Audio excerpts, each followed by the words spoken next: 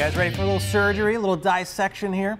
So we'll walk you through. This is that high pressure hose, right? Connected right here was going into the throttle. So I've got a lot of boost build up, and all of a sudden I close that throttle. It's got nowhere to go except my bypass. So I can bypass and put it right back through that turbo, right through the compressor, but I've got to get past this valve.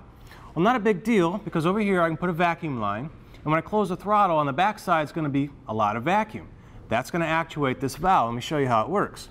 So pressure here, there's my valve. I've got to get past that guy.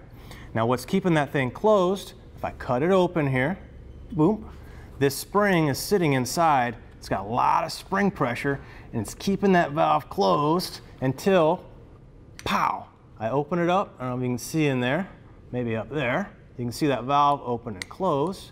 So that's how my actuation works.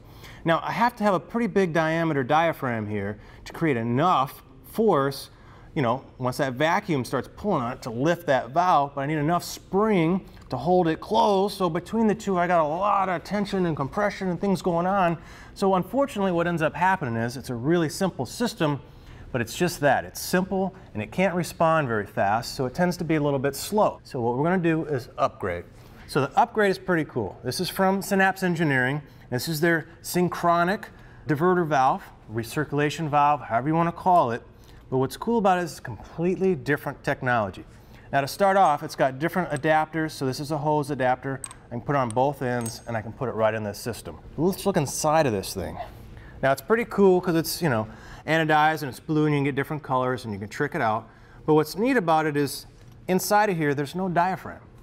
What they've done is come up with a very clever system of different ports and those ports are machined in here and they act on different diameters so different you know, areas and different forces. So depending on how you plumb these ports, you can make this valve act faster or slower, a lot on how you drive.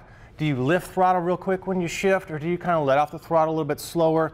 So you can tune that part. Well, the other cool thing is this spring pressure is pretty soft.